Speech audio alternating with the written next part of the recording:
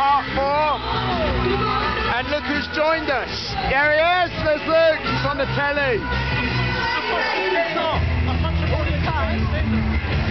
What do you reckon to the Christmas lights switch on then? Very good. Yay! No, no, no, what do you reckon to it? Great. Yeah, magical. Definitely is magical, isn't it, up now.